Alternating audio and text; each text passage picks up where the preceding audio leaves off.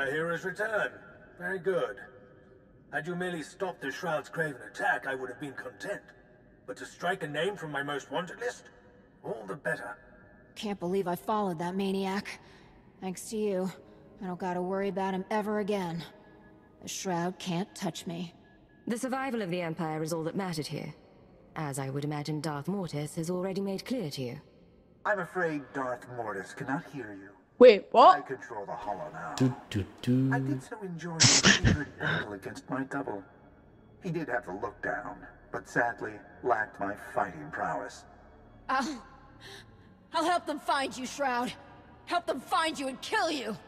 Evie, oh Evie. It saddens me to do this, but you've left me no choice.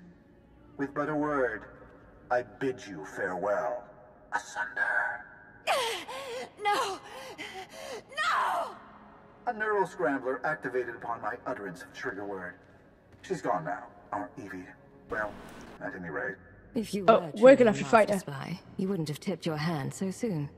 Unless I was so sure of my state of security that I had nothing to fear from anyone, including you, Commander.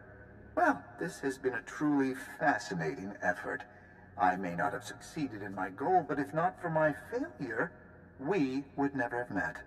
I do look forward to sparring again, so to speak.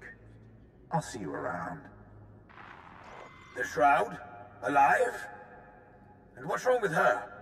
What am I doing here? Who are you? And... And who... Who am I? You're a veteran mercenary who will use those skills to serve the Empire for the remainder of her life. I... I am? If you say I am, then... Okay.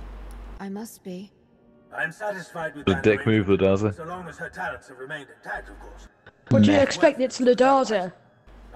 What other options did you have? Good work saving Kaas City from that madman. Don't know. Micro binoculars. Consider them Oh, I could keep binoculars. Such an honor. Yeah. Kaas City Savior won a title.